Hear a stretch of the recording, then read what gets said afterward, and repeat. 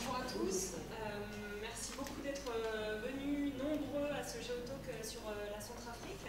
Avant de vous présenter notre invité et les défis du nouveau gouvernement et de, son président, je voudrais vous représenter en, quelques mots la mission d'action contre la faim en Centrafrique. C'est donc en 2005 que pour la première fois Action contre la faim se rend dans le pays pour une enquête nutritionnelle à Bangui et à la suite euh, de laquelle nous avons ouvert une mission en juillet 2006 avec le lancement de deux projets, l'un en sécurité alimentaire et l'autre en nutrition euh, à Bangui euh, ainsi qu'à Bossangwa dans la préfecture de, dans la région de Loire. une mission qui s'est ensuite développée de 2006 jusqu'en 2013 euh, vous n'êtes pas sans savoir, c'est un pays qui est euh, très peu couvert médiatiquement, euh, très peu de bailleurs de fonds institutionnels, très peu d'acteurs humanitaires jusqu'en 2013. 2013, une dégradation de la sécurité très importante et évidemment des déplacements massifs de population vers Bangui d'une part, et puis également une fuite de milliers de personnes vers le Tchad et le Cameroun principalement. Donc on a une mission qui avait un certain nombre de projets qui ont soit été suspendus, euh, soit euh, que nous avons euh, tenté de, maintenir, et puis une reconfiguration importante de la mission pour pouvoir justement répondre à une, ampleur de besoins massive et, des nouveaux besoins aussi considérables, notamment tout ce qui est lié au traumatisme, prise en charge aussi des troubles psychosociaux. Euh, aujourd'hui, c'est une mission en, 2016 qui est euh, extrêmement dynamique. Je voulais vraiment insister là-dessus parce que, voilà, au-delà de, tout ce qui s'est passé depuis 2013, c'est une mission qui a réussi à se maintenir, qui a aujourd'hui trois bases opérationnelles que vous visualisez. Donc la première à Bangui, une autre à Sibut dans la région de la Kémo et une troisième à Bossangwa, dans la région de Loire. Euh, il y en a une quatrième qui est une balle de passage euh, au niveau de bois, dans la Nana Mandéré, et qui euh, sert en fait pour les activités liées au mécanisme de réponse rapide, qui est un projet multirégional. Donc une, mission très dynamique au niveau opérationnel, très présente et très vocale aussi en termes de représentation et de plaidoyer. Donc euh, au niveau de, la représentation, la mission est présente euh, dans euh, les membres du HCT, donc le Humanitarian Country Team, et également a initié et aujourd'hui un membre actif de la CCO, donc la cellule de coordination des ONG, qui réunit plus de 70 acteurs internationaux et nationaux. Au niveau du plaidoyer aussi, très vocal, donc à la fois sur le plaidoyer humanitaire, donc sur l'accès aux bénéficiaires, sur la distinction civilo-militaire, et puis au niveau technique également. Euh, sur l'innovation, un mot aussi bien sûr, sur le coup on est très attaché aussi de pouvoir développer euh, des innovations, des projets de recherche. Euh, aujourd'hui on en a un qui est conduit en régional sur, en santé mentale et pratique de soins sur la, prison, sur la, sur la transmission du, trauma de, la mère à l'enfant et puis des recherches de financement également additionnelles pour des projets de recherche en prévention, l'un sur euh, les, farines infantiles et leur incidence sur la prévention euh, de la malnutrition aiguë euh, pour les 6-24 mois. C'est ça, merci Olivia. Et le second projet de recherche en cours de, financement, qui est un projet sur l'entomophagie, donc la consommation d'insectes dans l'alimentation. Et puis enfin, évidemment, sur le pilier transfert de capacité, on est aussi sur une mission qui est principalement orientée vers un transfert de capacité à l'attention des, acteurs étatiques. Donc, euh, mission très dynamique, euh, qui aujourd'hui est en pleine réflexion sur sa stratégie à l'horizon 2020, et évidemment dans le cadre aussi des, discussions plus larges et de l'ISP. Et c'est dans ce cadre-là que j'ai le plaisir et l'honneur de, vous présenter notre invité aujourd'hui, Didier Nigalowski, euh, qui est euh, universitaire, ancien diplomate, ancien euh, conseiller de coopération et d'action culturelle auprès de l'ambassade de Bangui, de Paris, de France, pardon, l'ambassade de France à Bangui de 2008 à 2012 et un contributeur régulier également de Jeune Afrique et du Monde. Merci à vous. Merci beaucoup. Bon, je suis très heureux évidemment de me retrouver aujourd'hui à SF, c'est la première fois d'ailleurs.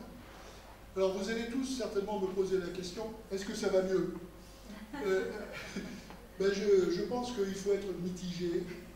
Aujourd'hui, évidemment, la situation, fait comme on dit, est volatile. C'est-à-dire qu'il y a des points qui vont dans le bon sens, mais il y en a aussi malheureusement d'autres qui, qui sont inquiétants. Alors, ceux qui vont dans le bon sens, c'est qu'enfin, en Centrafrique, depuis très longtemps, nous avons donc euh, un ordre constitutionnel qui a été rétabli. C'est quand même la base. Donc, comme vous le savez certainement, euh, vous l'avez peut-être vu dans mon petit papier qui a été distribué, donc je viens un peu en complément, si vous voulez, de ce papier. Donc, euh, après un référendum qui a eu en décembre 2015, il y a eu des élections présidentielles et législatives évidemment, dans un pays où il n'y a pas d'état civil, où l'État n'existe pas dans les trois quarts, où il y a un million de déplacés, c'est pas évident de respecter les normes internationales concernant les élections. Mais enfin, disons que les écarts sont tellement importants qu'on peut dire que toutes ces irrégularités ne sont pas de nature à remettre en cause donc, les résultats. C'est-à-dire l'élection à la présidence de la République de Faustin Archange Touadéra et donc une Assemblée nationale de 140 députés qui ont été élus parfois difficilement parce que la, Cour constitutionnelle a annulé puis a remis en cause certaines élections, mais en tout cas, donc il y a une élection, il y a eu des élections et l'Assemblée nationale est constituée. Donc aujourd'hui, nous avons un président de la République, un gouvernement, une Assemblée nationale qui sont légitimes. Ce fut vraiment le cas, bien sûr, dans ce pays. Voilà un point positif. Euh, en revanche, euh, pour aller un peu plus profondément, on peut être inquiet. Inquiet parce que le, président Touadéra euh, a été donc Premier ministre de Bozizé, qui était donc en, poste en Centrafrique, président en Centrafrique de 2003 à 2013. Il a été donc cinq ans, les cinq dernières années, son Premier ministre. Et puis également, il a été vice-président du parti du président Bozizé KMK. Vous savez tous que Bozizé a été renversé pour X raisons, mauvaise gouvernance, dilapidation du bien public, etc. Donc, euh, Touadéra a quand même été un peu marqué par son passé chez Bozizé. On est encore un peu plus inquiet euh, lorsqu'on examine la composition de son entourage et de son gouvernement. Il a nommé tout naturellement comme Premier ministre son, directeur son ancien directeur de cabinet à la primature, et également son directeur lorsqu'il était recteur, c'est-à-dire depuis 15 ans, Mathieu Serrangi est donc euh, l'homme qui se trouve à côté du président Touadéra.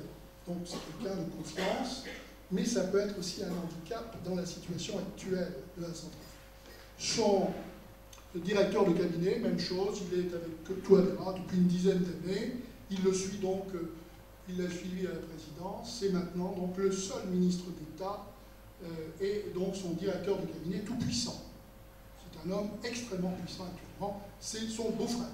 Comme vous voyez, donc le népotisme existe toujours et je pense qu'il existera encore très longtemps dans la plupart de ces pays d'Afrique centrale. Ce n'est pas tout à fait le cas en Afrique. Donc le népotisme, euh, ce sera très difficile à éradiquer, voilà un des points noirs. Et il se retrouve évidemment dans la composition du gouvernement, où le tiers sont des parents de Touadéra, et dans son cabinet, où là aussi à peu près le tiers sont euh, des parents, et la plupart aussi sont d'anciens collaborateurs, voire ministres de Bozizé. Donc on a fait un, un, bond en arrière, si vous voulez. On revient donc euh, un peu à la période de décembre 2012, lorsque la Séléka est venue donc euh, renverser le pouvoir de Bozizé. Voilà donc un, nuage qui, est inquiétant.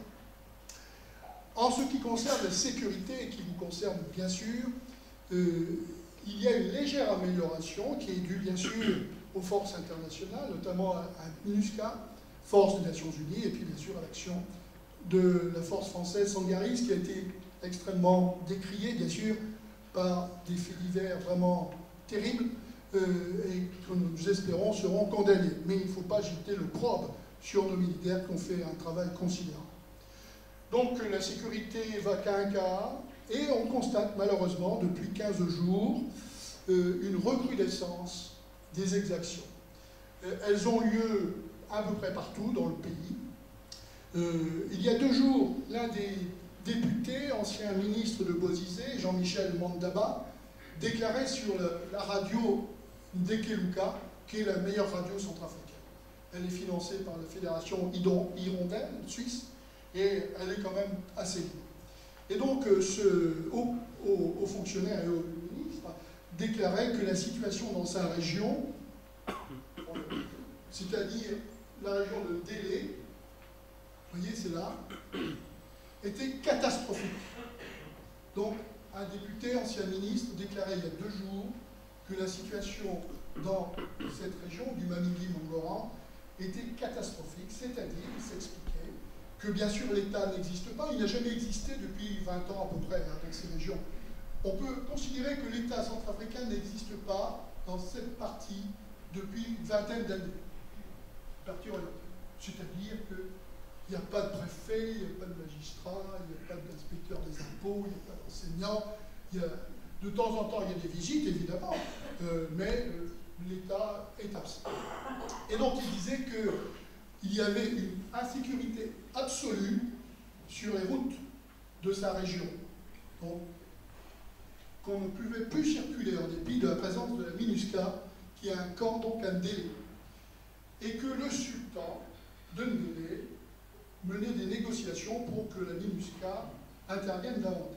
C'est très intéressant, voyez-vous, le sultan. Effectivement, dans cette région, les seules autorités sont des autorités religieuses traditionnelles, les sultans. Et donc le sultan de Ndélé, qui était un homme remarquable, que je connais bien, qui était jeune maintenant, euh, a donc euh, pris en charge donc, les fonctions régaliennes qui sont normalement dévolus à l'État. C'est la même chose à Bangassou, où le sultan de Bangassou est un homme aussi extrêmement important. Là, c'est autre chose.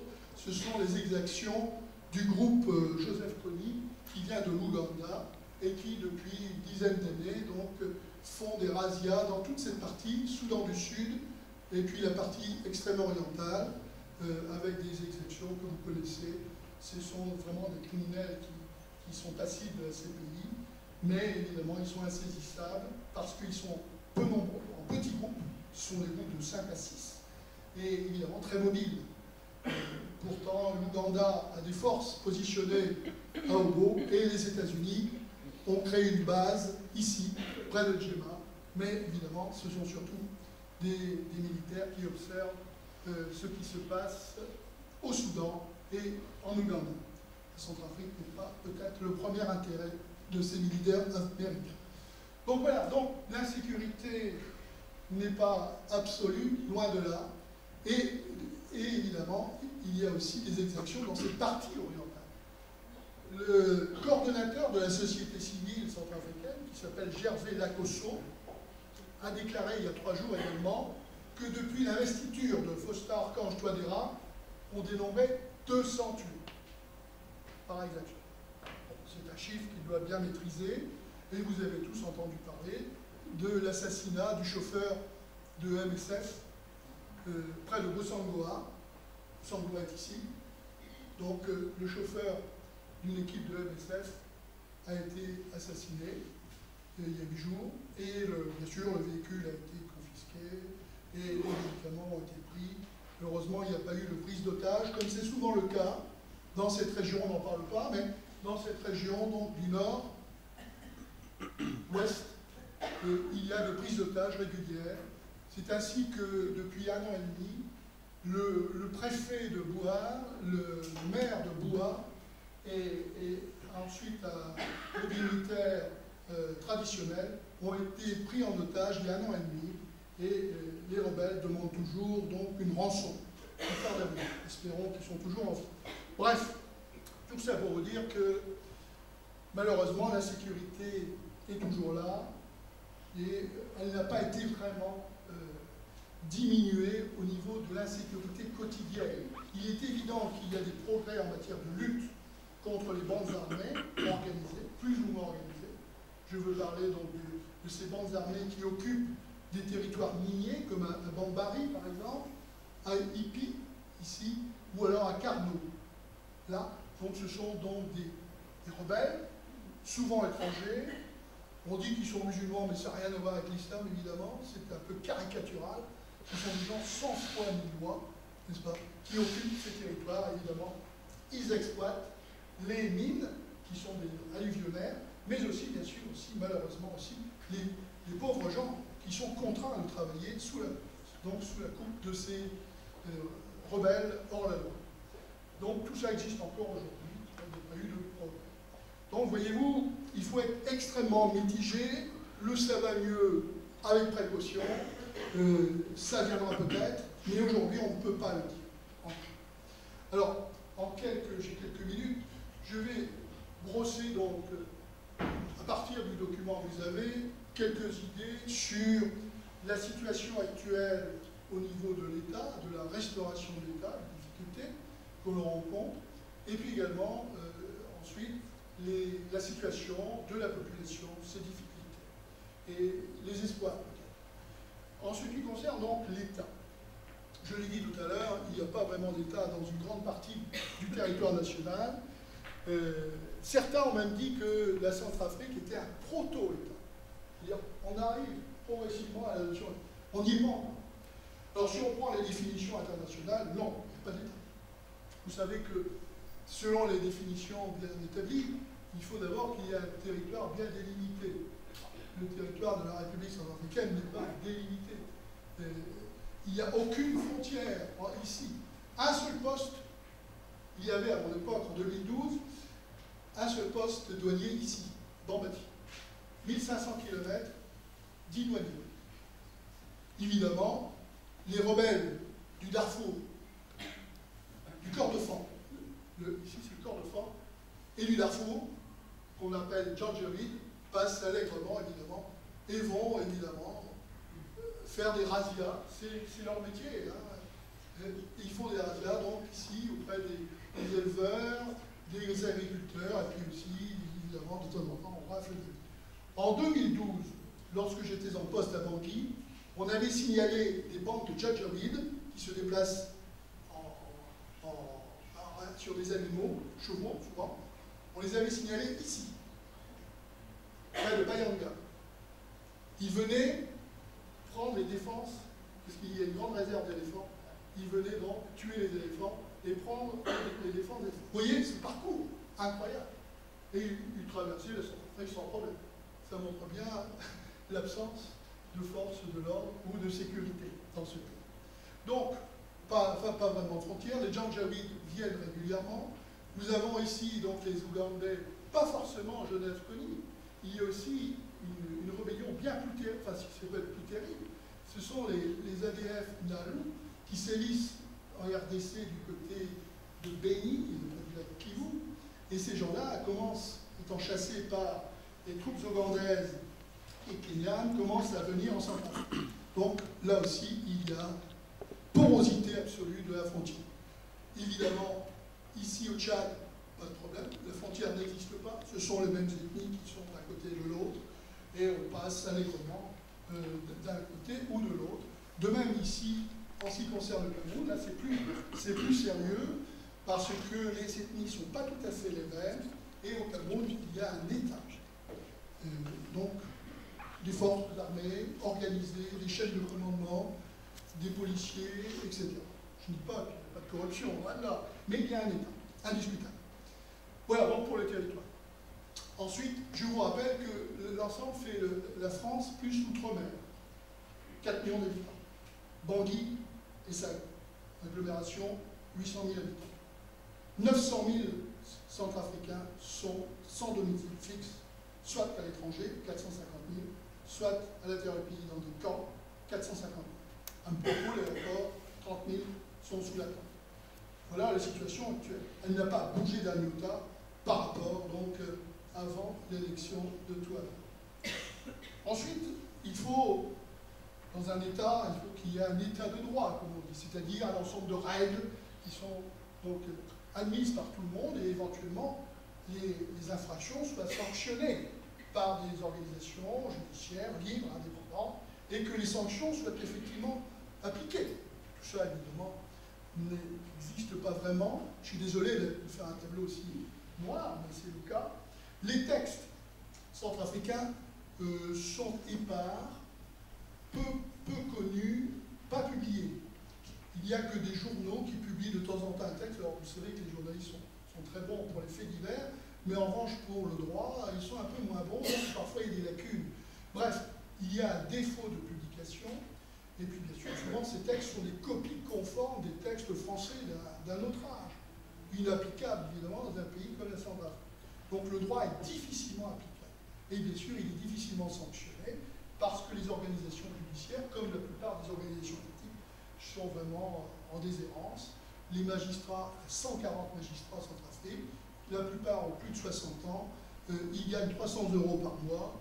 Euh, évidemment, il faut donc euh, avoir un peu de, monnaie lorsqu'il y a des affaires que l'on jugera évidemment en fonction du montant que l'on donne. je suis un peu caricatural, mais malheureusement c'est un peu ça. Il y a bien sûr des magistrats qui sont aussi très très bons. Et je, dois saluer les neuf juges de la Cour constitutionnelle de la transition. Ce sont des que je connais bien, ce sont des gens remarquables qui sont eux aussi euh, tout à fait intègres. Donc le droit, le droit est défaillant, évidemment, ça ouvre la porte à l'impunité, on ne juge pas les crimes et délits, euh, on échappe à toutes les sanctions, l'ONU peut très bien prendre des sanctions contre tel, leader politique, évidemment, elles ne sont pas appliquées, on voyage de à droite. La Constitution dit que le président, les ministres, le Premier ministre doit faire une déclaration de patrimoine au bout de huit jours. Seul le président Touadéra l'a fait la semaine dernière euh, et, et, elle n'a pas été publiée. Euh, cinq ministres ont fait la déclaration sur 23, 18 députés sur 140. Donc une disposition constitutionnelle n'est pas appliquée, mais personne ne dit rien, évidemment, parce que bon, c'est comme ça. Voilà pour ce qui concerne la règle de droit. Ensuite, l'administration. Comme dans beaucoup de pays africains, comme vous savez, vous qui connaissez bien l'Afrique, l'anonymat n'existe pas dans beaucoup de pays africains. Chez nous, c'est le numéro fiscal, c'est le numéro de la sécurité sociale. Nous sommes anonymes. C'est monsieur le numéro inter. En Afrique, ça n'existe pas. Il n'y a pas de numéro. C'est monsieur machin, madame inter, qui est de telle famille et qui est de telles ethnies, de telle région, etc. Et évidemment, c'est difficile et je ne jette pas la pierre, parce que c'est une autre conception de la société. Il faut comprendre. Parce qu'en Centrafrique, en Afrique, il y a une solidarité qui n'existe pas chez nous. On aide les vieux, on, généralement, lorsqu'il n'y a pas de gros problèmes et puis voilà, il y a une solidarité très forte.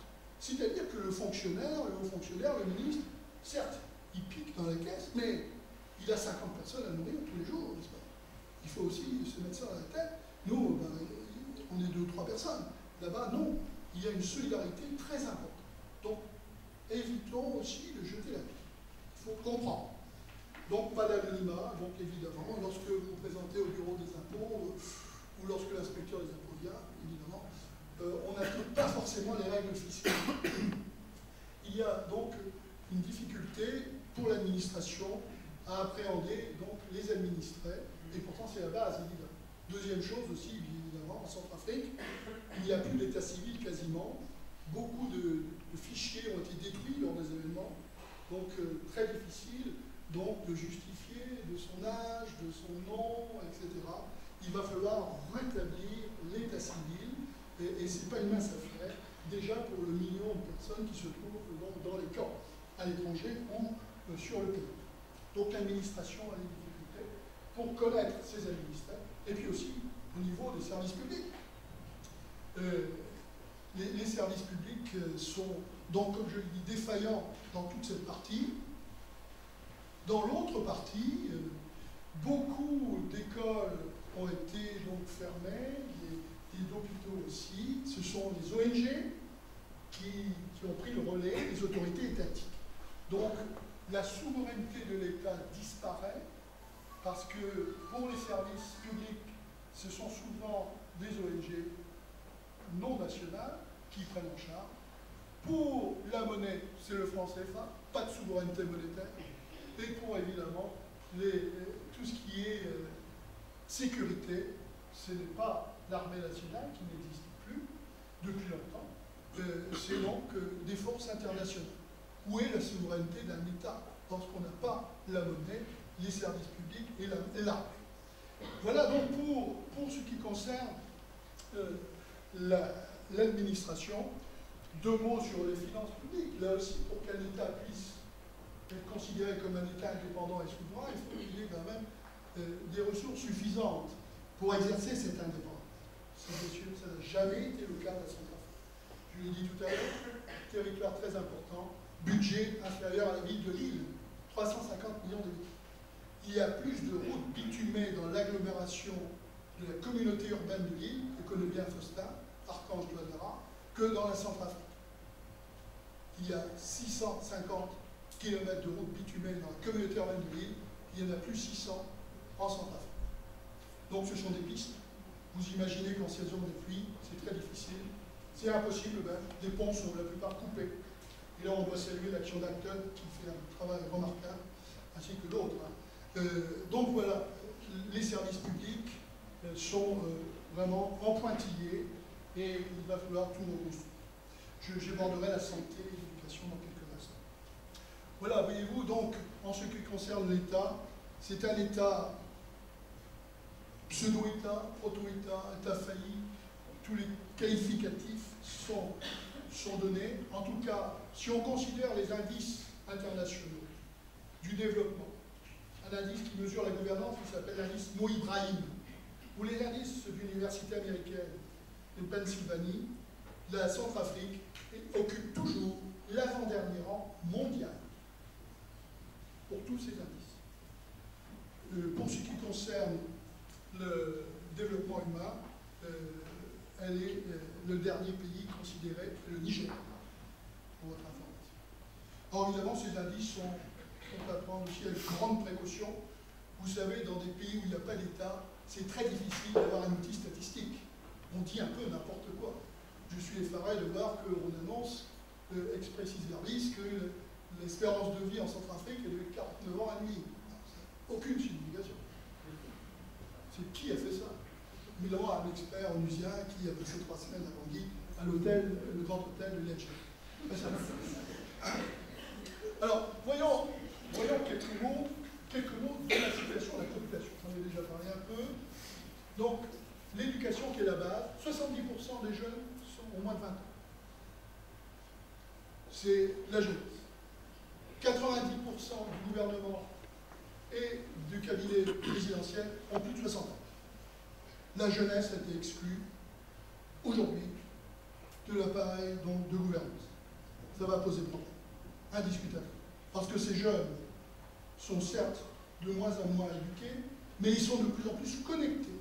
Le monde virtuel, le monde nouveau de la mondialisation est là aussi. Et ça, ça peut être une chance.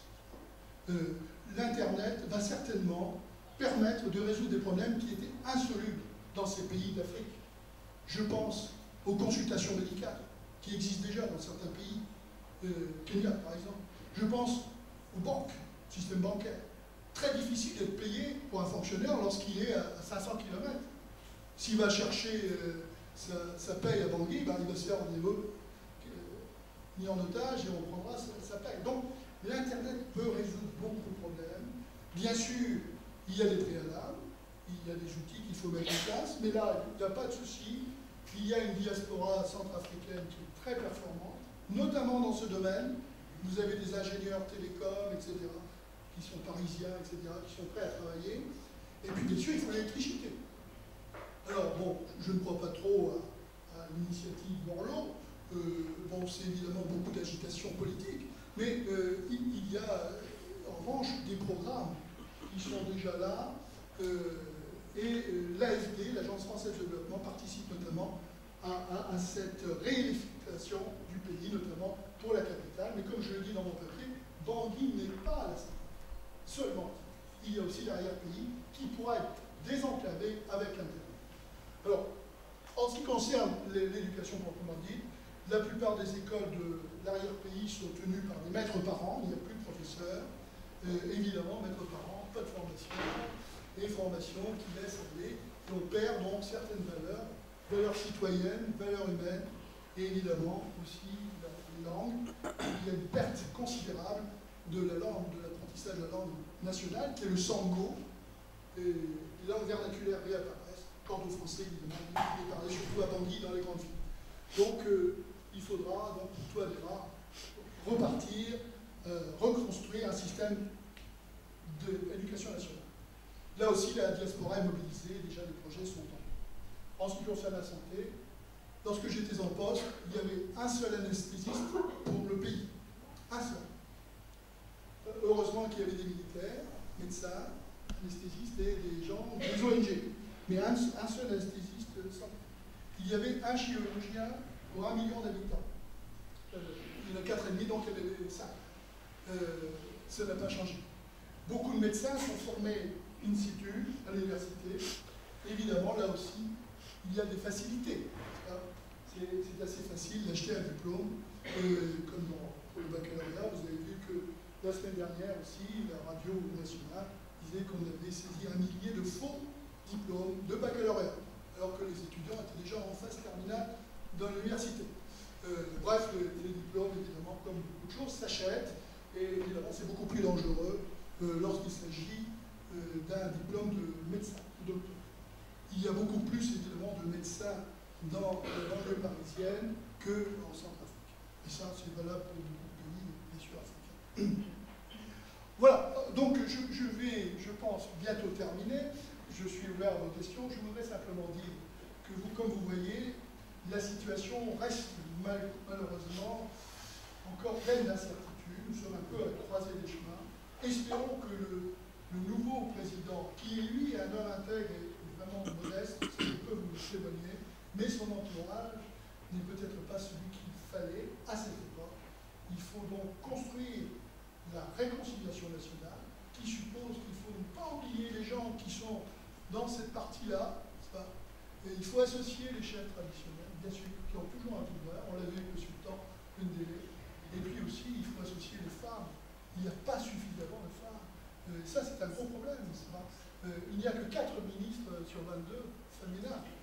J'étais en poste jadis au Cap Vert. Euh, j'ai passé 4 ans à l'ambassade. Et le Cap Vert, au Cap Vert, tous les postes régaliens, je dis bien tous les postes régaliens sont tenus par des femmes.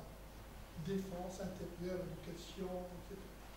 je ne dis pas d'aller jusque-là, mais quand même, c'est très important. Donc, la jeunesse, il faut vraiment la les femmes, et puis ne pas oublier certaines contrées. Il ne faut pas avoir cette volonté de fermeture comme il semble avoir certaines personnalités de l'entourage du président. Le président ne doit pas l'avoir, je pense. Il faut donc les associer. Sinon, eh bien sinon, on repart comme en octobre 2012. C'est-à-dire que tous les gens de ces pays se sentant ne plus concernés par le pays vont faire appel à des mercenaires qui viendront du Soudan, du Sud du Tchad, les seigneurs de la guerre vont réapparaître. Déjà la semaine dernière, il y a eu un accord entre les quatre branches de la CDK pour reformer un seul mouvement unique, comme en septembre 2012. Un seul des cinq s'est rallié à l'État donc centrafricain. Les quatre autres donc vont certainement se fédérer et on va revoir réapparaître, peut-être, et ce serait dramatique, ceux qui ont tellement fait de mal à Centrafrique. Je pense notamment à Nourini Madame, un seigneur de la guerre qui est maintenant au Tchad, où son ami Lise Lévy va certainement le briefer, parce que évidemment on n'était pas euh, étranger à ce qui s'était passé en 2012, et puis aussi des gens comme Michel Jotoja, qui fut donc l'éphémère chef de l'État centrafricain, euh, et qui, euh, pendant une période où le peuple a souffert terriblement. Je vous rappelle, pour votre information, qu'en République centrafricaine, beaucoup de cadres de ministres prennent des prénoms chrétiens alors qu'ils sont musulmans. Michel Jotoja, bien sûr, n'est pas chrétien. Le président du Conseil national de la transition, Alexandre Mendet, est musulman. certains ministres ont des prénoms chrétiens, mais ils sont musulmans. Donc attention, ils étaient obligés de cacher un peu leur, euh, leur confession parce qu'il y avait une certaine hostilité à l'islam de la part des extrémistes chrétiens. Euh, c'est à savoir, bien sûr, ils sont bien sûr minoritaires, mais vous avez vu aussi que Karim Mekassoua, qui a été élu président de l'Assemblée nationale, a été très critiqué et même son élection est remise en cause par un certain nombre d'autorités, peut-être parce qu'il était d'origine musulmane. Voilà, merci.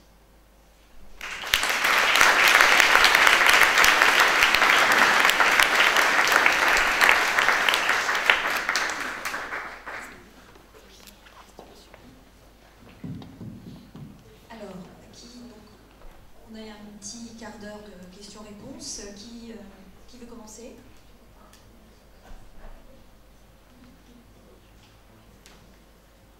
Oui, moi j'avais une question sur les. Vous n'avez pas abordé la question des conflits ethniques ou, religieux?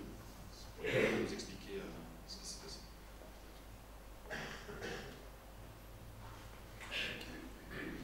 Oui. Le, les Centrafricains, la quasi-totalité, sont très unis et dans la même famille, vous pouvez avoir des chrétiens qui sont la plupart du temps protestants. Ce sont des églises africaines, dites du réveil. Et même, il y a donc des musulmans. On vit en bonne harmonie dans beaucoup, beaucoup de familles. Il y a eu donc cette affaire de conflit qui a été exacerbée en 2012. On a présenté très rapidement, notamment les médias étrangers, que les syndicats c'était des musulmans et que les pauvres, et c'est vrai, ils ont souffert, autres centrafricains, anti-Balaka, étaient des chrétiens. Non. Les uns et les autres sont des hors-la-loi, sans foi ni loi. N'est-ce pas L'islam ne demande pas de tuer son prochain et, le christianisme non plus. Donc il y a eu une interprétation étroite, rapide, un cliché qui a été, qui a été instauré. Et ça a permis d'alimenter, de, développer la haine, et puis évidemment, ensuite, c'était inarrêtable, évidemment. Euh, on ne peut pas dire que c'était un conflit vraiment euh, interconfessionnel. Euh, c'était un conflit de prédateurs. Les, les, les qui venaient souvent d'autres pays venaient comme ils viennent tous les 10 ans rafler tout ce qu'ils pouvaient, minimum de temps. Ce sont des entreprises militaro-commerciales euh, et n'ont pas de confession. Ils n'ont jamais eu l'idée d'instaurer l'islam en Centrafrique. Ils ne sont pas musulmans. Ce sont des tueurs, des prédateurs, comme il existe euh, au Soudan, etc. Et de même pour les anti-Balaka, ce sont des pauvres gens sans éducation. L'école est fermée, comme je l'ai dit tout à l'heure. Ils n'ont plus donc eu les valeurs humaines. Ils, ont, ils sont sous la coupe souvent de gourous, de tradipraticiens qui ont perdu totalement euh, les notions de médecine traditionnelle, qui est tout à fait remarquable. Je ne veux pas mettre en, doute, mais là, ce sont des tradipraticiens qui font du n'importe quoi et qui ont donc fait germer et développer cette haine aussi. Donc ces anti-Balaka ben, s'en sont pris donc au Séléka, parce que, disaient-ils, ils étaient musulmans parce qu'ils avaient fait, certes, des exactions. Et donc, ça a été exacerbé. Fondamentalement, il n'y a pas vraiment d'hostilité dans la plupart des familles. Sauf, évidemment, cette correction que j'ai dit tout à l'heure. Il faut faire attention parce que certains Centrafricains, dans l'élite, surtout dans l'élite, considèrent que ceux qui sont originaires de la partie orientale ne sont pas vraiment des centrafricains, pure souche, etc. ils n'ont pas la même religion, ils parlent l'arabe, etc.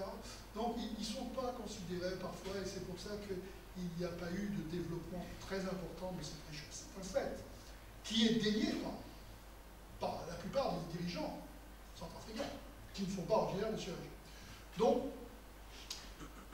je ne pense pas que ce soit s'il y a une détérioration de la situation, ce sera un conflit religieux, c'est un conflit de prédateurs qui vont essayer, une nouvelle fois, de s'emparer de ce qu'ils pouvaient s'emparer et de mettre en l'air donc le pouvoir de Bangui pour installer une sorte de conglomérat, je ne vais pas dire un émirat, parce que c'est rien à voir avec ce qui se passe ailleurs, mais disons un no man's land, un territoire où régnera donc quelques seigneurs de la guerre qui se partageront les, les, diamants et les mines d'or qui se trouvent dans leur secteur.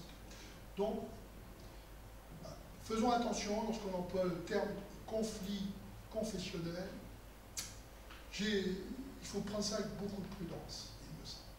Mais on n'est pas à l'abri, en revanche, d'une nouvelle flambée qui serait vraiment dramatique. Et cette flambée est possible, d'autant plus possible que Sangaris plie bagage. Je vous rappelle que la France n'était pas intervenue en 2012 lorsque la Sénéca descendait sur Bangui parce que les accords de coopération ne le permettaient pas. On avait revu les accords de défense de 1960 qui, elles, permettaient de venir assistance à un chef d'État.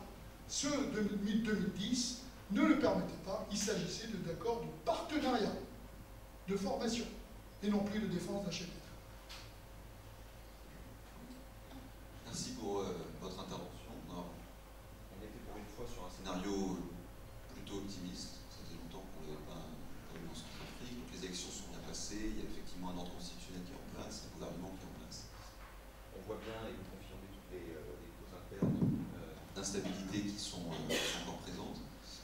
Je vais poser une question sur la partie régionale, parce que souvent ça a été aussi des, questions externes. C'est souvent du côté de N'Djamena qu'il a fallu regarder pour comprendre l'instabilité qu'il y avait dans le pays. Vous l'avez ressouligné avec Nouadine Adam, qui au Tchad et Déby qui peut réinstrumentaliser la, la coalition CDK.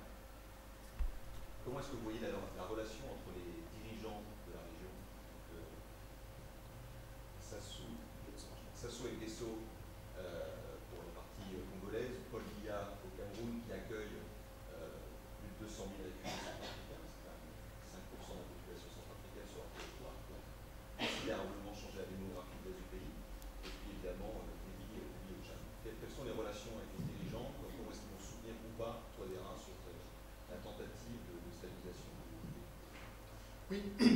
Alors, petite remarque, Sassou a pris le pouvoir en 79.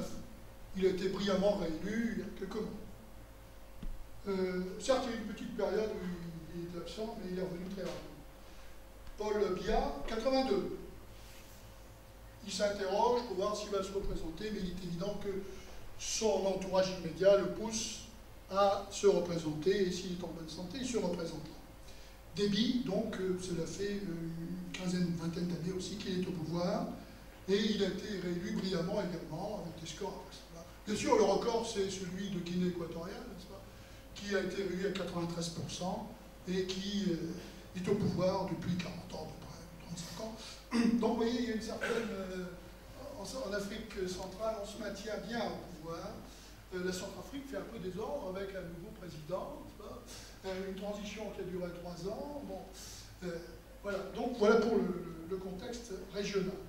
Entre les trois que vous avez cités, c'est la désentente cordiale. il ne s'apprécie guère. Paul Biya est au-dessus, je dirais qu'il est en Suisse il est au-dessus de la mêlée, mais il, gouverne par euh, intermédiaire et il tient son pays sans problème. À quel prix, bien sûr. Mais vous savez qu'il y a un seul conseil des ministres par an. Donc euh, j'ai un ami qui, était ministre, il le voyait une fois par an. Un ministre important des relations avec le gouvernement. Donc Biya se désintéresse beaucoup de la Centrafrique sa seule préoccupation, bien sûr, c'est Boko Haram. Où là, les problèmes sont très sérieux. Très sérieux parce qu'ils touchent l'extrême nord, qui a toujours été un peu euh, contre Biya, parce que, évidemment, c'est la région de Haïdjo. Et les Aoussa n'ont pas été le même problème, n'ont pas été assistés, on n'a pas eu le développement qu'ils auraient dû peut-être avoir. Donc c'est un problème. Et donc euh, l'irrédentisme des Aoussa de l'extrême nord progresse. D'autant plus que deux de leurs grands leaders, dont Maroufa, euh, sont en tort pour 25 ans. L'ancien secrétaire général de la présidence a été victime de l'opération épervier, C'est une des façons de gouverner, c'est de prendre une haute personnalité et de la jeter en pâture, évidemment. Donc Bia, je pense, ne, ne va pas intervenir sur la Centrafrique. Donc on retrouve les deux Sassou et Idriss Déby, qui ne s'apprécient pas. Ils ont été tour à tour donc les parrains de la Centrafrique récemment. Euh, Idriss Déby était plutôt donc pour le renversement de Bozizé pour plusieurs raisons. Les relations s'étaient ternies à la suite de l'assassinat de Charles Massy, l'ami de Déby, alors que Bozizé avait promis qu'il n'y aurait pas de problème. Il y a eu aussi le problème de la garde présidentielle tchadienne qui a été renvoyée, les commerçants tchadiens qui ont eu des gros problèmes. Bref, les relations se sont nettement détériorées. Et bien sûr, Déby sait bien que Touadéra était le premier ministre de Bozizé. Pour lui, c'est la même chose. Donc, les relations entre Déby et Touadéra ne seront pas très très bonnes. Et évidemment, il est, Touadéra a peut-être à craindre que Déby euh, agite une nouvelle fois les Noadi Madame, les Babaladé, on n'en a pas parlé, mais c'était bien d'important. C'est un leader Peul. Vous savez que la question Peul se pose de plus en plus et se posera depuis le fleuve Sénégal jusqu'à l'Éthiopie. Voilà la zone de fracture pour les 20 prochaines années. Et donc, en Centrafrique, vous avez ce mouvement Peul, Babaladé. Et les Peuls, évidemment, sont aussi manipulés par des autorités ne sont pas centrafricaines, sont mobiles évidemment, et c'est important. Et ils contribuent aussi à, faire passer ce qu'on disait tout à l'heure, l'affrontement chrétien-musulman. Les Peuls sont musulmans, les Peuls sont des éleveurs chameaux, de vaches, tandis que les cultivateurs de maïs, et sorgho, sont des chrétiens. Donc on fait passer ça comme un conflit entre chrétiens et musulmans, c'est un conflit entre pasteurs et éleveurs, comme il y en a au Sénégal, Mauritanie. Les événements au Sénégal-Mauritanie, j'étais en poste auprès du président de la République de Mauritanie à l'époque, 88, et j'étais au premier loge, et donc j'ai vu que cet affrontement de Diarra euh, était un affrontement entre, bien sûr, des peuples euh, tout couleur et euh, des cultivateurs soninké. Donc ce n'était pas un affrontement entre morts et noirs, c'était entre deux, ethnies africaines et musulmanes, tous les deux. Donc l'affrontement est cultivateur et pasteur.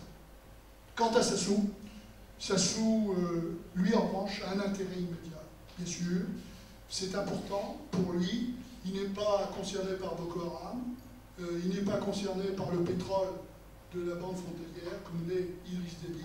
En revanche, donc, il tient à, mettre sous tutelle donc, le pouvoir. Et donc, euh, Karim Mekassoua est un ami proche, bien sûr, le président de l'Assemblée nationale, le deuxième chef de l'État, du deuxième personnage de l'État. Il est très proche de Sassou. Et Sassou Nguesso donc va s'appuyer sur son premier sur son président de le président de l'Assemblée nationale, Karim Mekassoua, ce qui peut à terme avoir des conflits mener à des conflits avec le Premier ministre, Saranji, qui lui euh, apprécie modérément Sassou Nguesso. Donc Sassou Nguesso euh, pourrait aussi être un facteur de déstabilisation au sein de l'exécutif. On peut prendre une dernière petite question, puis après on va passer à ce qu'il y a une dernière question. Les, les leviers des, des soirs Comment Il y a des leviers sur lesquels oui. Comme dans beaucoup de pays africains, la jeunesse. Il ne faut pas, comme euh, Touadéra l'a fait, oublier la jeunesse dans le gouvernement, dans la haute administration. Beaucoup de jeunes sont formés, non pas en Centrafrique, malheureusement, tout est effondré, l'université c'est fini, mais beaucoup de jeunes centrafricains vont faire leurs études, pas forcément en France, hein, il y en a aux États-Unis, en Afrique du Sud, donc il faut utiliser cette jeunesse.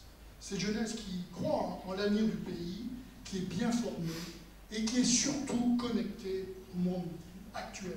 Tous ces vieux dirigeants de plus de 60 ans ignorent totalement ce, sa nouvelle économie, le nouveau monde.